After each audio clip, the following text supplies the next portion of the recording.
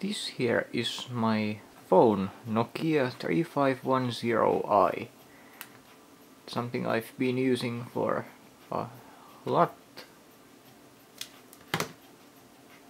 Many years, that is. I was recently passed this thing over here. Now, what I'm about to say, it goes against the thing I studied for three years. That is some computing and stuff, and uh, these were a small part of it. The thing is, these things sucked back then, and they suck. They still suck now. But so I have this here model, was it SMG350 or something, I don't know. I have been trying to use this thing.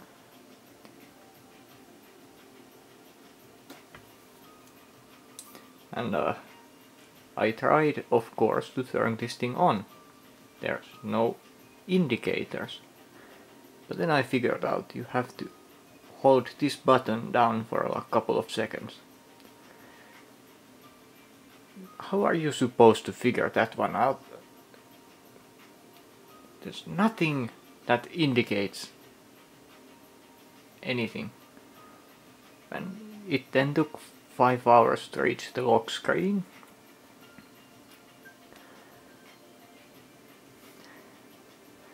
And it tells me that I I can do swipe to get rid of it now. What what's next?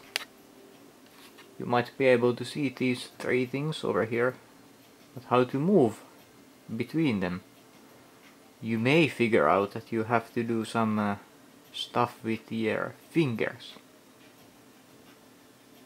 But then there's the, then there's the UI that tells you absolutely nothing. Contrast this thing. You punch in some menus and you can always see what this button here and this button here do. Select, exit. Of course, these two would be arrows over here.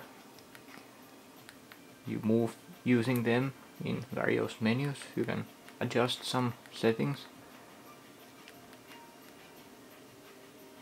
You can even see this one goes to menu, this one goes to names.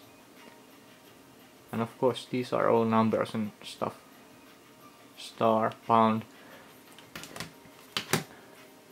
Here you have no buttons, no indicators on what does what, how to do anything. The design design sucks. You eventually figure out how to tap stuff open. Here's some dumb settings.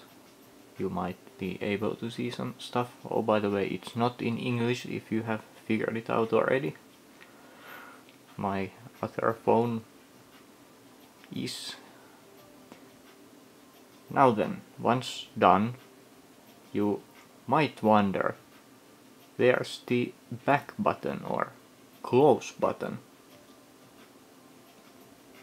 There is none. You might figure out later that you can, for example, push this. Why nothing happened? Oh, there we go. And at this point you may think, yay, it's closed, but nope. When you hold this down for some reason, here's all the shit you have open. I mean, if I start something in Windows and I then click the close button. I don't have to control shift S and close it. Why, why do I have to do this here? kind of design is this?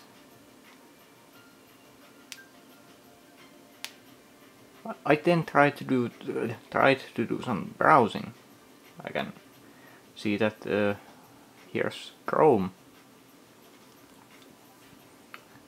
How do I do anything? That's the thing. I wanted an incognito tab.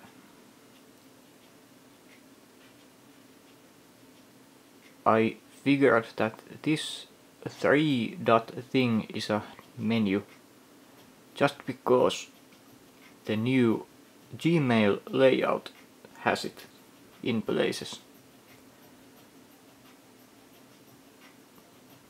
And I don't like the new Gmail layout at all. I don't want mobile UI in my desk desktop environment. So I push that, it opens.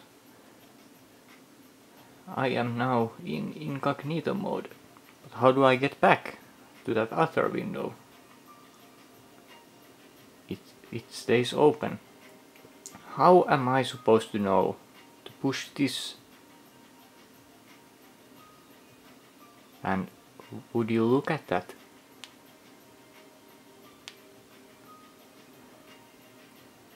All of this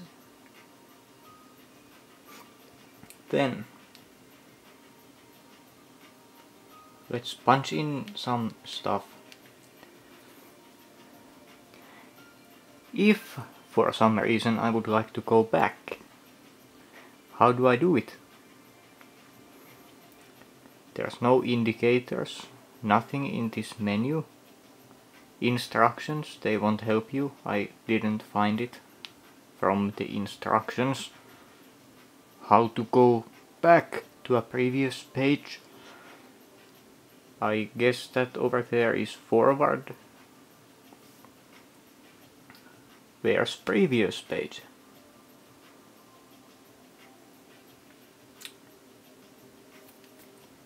So in the end I found myself looking that stuff from online how was I supposed to know to press this spot here to go back?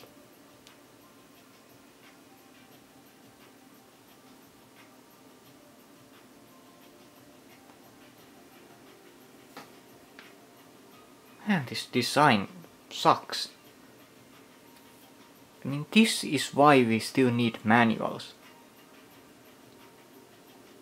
These things need a manual.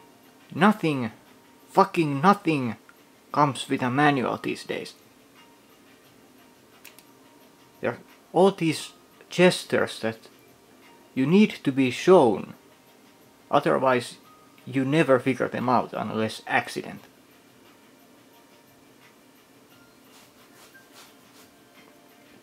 An example. How am I supposed to know without a manual or an accident that dragging my finger down from here does this. Explain now.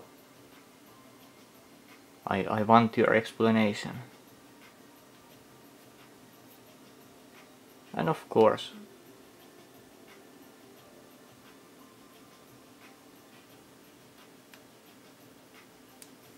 Get out of here.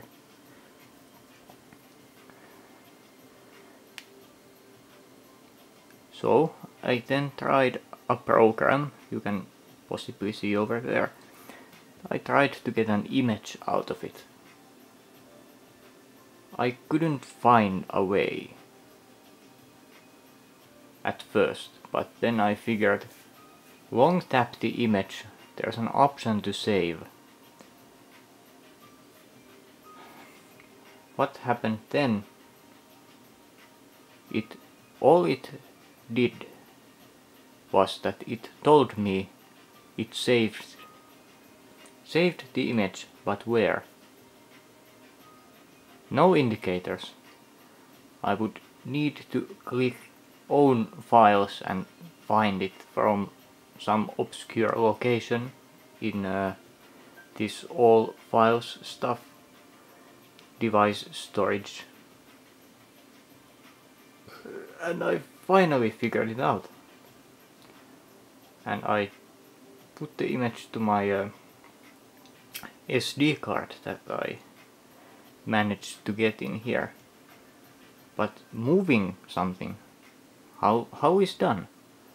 Selecting of course the image, but man these icons are confusing. How, how am I supposed to know to do this? Push that one and then there's your move option. But hey, at least when you click it, there's this option that says move here.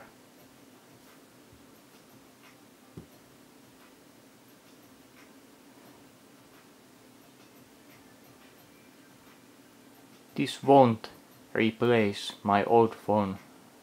No. And besides, I'm used to having an internet on my PC only and uh, when going outside I don't even take internet with me anyway so. Why would I want to access internet from anywhere anyway? It just makes us lazier when we can access anything everywhere. I'll continue using this making things the hard way. Convenience kills. Remember that